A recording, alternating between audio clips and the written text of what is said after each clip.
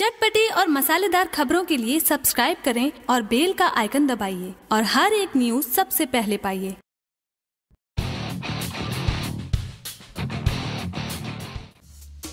भोजपुरी फ़िल्मों के action star Pradeep R Pandey की सबसे सफल फ़िल्म दुल्हन चाई पाकिस्तान की सफलता के बाद एक बार फिर से चिंटू की दुल्हन चाई पाकिस्तान 2 बिहार और झारखंड के बॉक्स ऑफ़िस के साथ साथ नेपाल के बॉक्स ऑफ़िस पर आज रिलीज़ किया गया। आपको बता दें कि दुल्हन चाई पाकिस्तान 2 में चिंटू का बिल्कुल एक्शन पैक अंदाज भोजपुरी दर्शकों को काफ़ी ज़्यादा पसंद आ रहा है, जैसा की फ़िल्म के टेलर में भोजपुरी दर्शकों ने देखा था। साथ ही साथ दुल्हन चाई पाकिस्तान खास इसलिए भी भोजपुरी दर्शकों को लग रही है क्योंकि साउथ और बॉलीवुड के विलन राहुल देव पहली बार भोजपुरी फ़िल्म में नज़र आते हैं और भोजपुरी अवतार में एक्शन करते हुए नज़र आते हैं, जो भोजपुरी दर्शकों को काफ़ी ज़्यादा पसंद आ रहा है। चिंटू और राहुल देव पर कई फाइट सीन्स फिल्माए गए हैं, जो भोजपुरी दर्शकों को बहुत ज़्यादा आनंदित करता है। कुल मिला के कहा जाए तो दुल्हन चाय पाकिस्तान टू भोजपुरी दर्शकों को देखने लायक बनी है। दुल्हन चाय पाकिस्तान का लेखक और संगीतकार के साथ साथ फ़िल्म के प्रोड्यूसर और डायरेक्टर राजकुमार पांडे हैं, जिन्होंने भोजपुरी फ़िल्म इंडस्ट्री में एक से एक बढ़कर सुपर डुपर हिट फ़िल्मों का निर्देशन किया है। साथ ही साथ दुल्हन चाय पाकिस्तान टू में चिंटू और मोनालिसा सुबी शर्मा पर फ़िल्म आया हुआ रोमांटिक आइटम तड़का भोजपुरी दर्शकों को जवान पर सर चढ़कर बोल रहा है। कुल मिला के कहा जाए तो दुल्हन चाय पाकिस्तान में वो सभी मसाला मौजूद है, जो भोजपुरी दर्शकों को पसंद आता है, तभी तो दुल्हन जाई पाकिस्तान का पहला दिन और पहला शो काफ़ी ज़्यादा हाउसफुल नज़र आया। अब देखना यह है की आगे दो तीन दिन में दुल्हन जाई पाकिस्तान का कलेक्शन क्या रहता है। वैसे आपको बता दे की दशहरा के मौके आरोप दुल्हन जाई पाकिस्तान का कलेक्शन अच्छा ही होगा, क्यूँकी यह फ़िल्म वाक्य में ही भोजपुरी दर्शकों को देखने लायक बनाई गई है।